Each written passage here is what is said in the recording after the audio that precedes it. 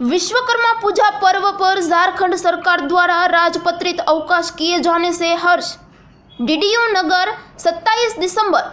All India united Vishwakarma Shilpkar Mahasabha की दीनदयाल नगर स्थित कार्यालय पर संपन्न बैठक में झारखंड सरकार द्वारा विश्वकर्मा पूजा पर्व का राजपत्रित अवकाश घोषित किए जाने पर हर्ष व्यक्त किया गया। तथा सरकार को समाज की ओर से धन्यवाद ज्ञापित किया गया।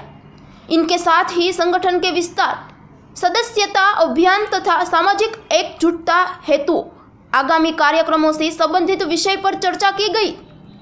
बैठक को संबोधित करते हुए राष्ट्रीय अध्यक्ष अशोक कुमार विश्वकर्मा ने उत्तर प्रदेश की योगी सरकार पर समाज के साथ घोर भेदभाव और उपेक्षा का आरोप लगाते हुए कहा, मौजूदा सरकार में समाज के लोगों पर सर्वाधिक जुर्म उत्पीड़न और अत्याचार की घटनाएँ बढ़ी है।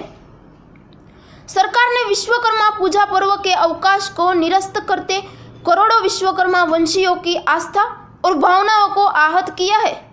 उन्होंने बताया है कि सरकार के इस फैसले से समाज आंदोलित है तथा विश्वकर्मा पूजा पर्व के राजपत्रित अवकाश की मांग को लेकर लंबे समय से संघर्षरत है।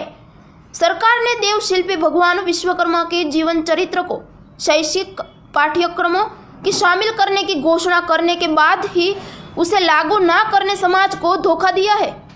उन्होंने कहा है कि विश्वकर्मा पूजा पर्व पौराणिक परंपरा है और यह सभी जाति धर्म के लोगों की आस्था से जुड़ा है।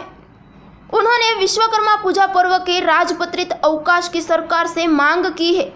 बैठक में प्रमुख रूप से श्रीकांत विश्वकर्मा, डॉक्टर प्रमोद कुमार विश्वकर्मा, नंदलाल विश्वकर्मा, सुरेश विश्वकर्मा एडवोकेट अजय विश्वकर्मा मिंटू विश्वकर्मा लोंचन विश्वकर्मा सुरेश विश्वकर्मा महेंद्र विश्वकर्मा दीनदयाल विश्वकर्मा सहित अनेक लोग उपस्थित थे ब्यूरो रिपोर्ट लोकसामना न्यूज़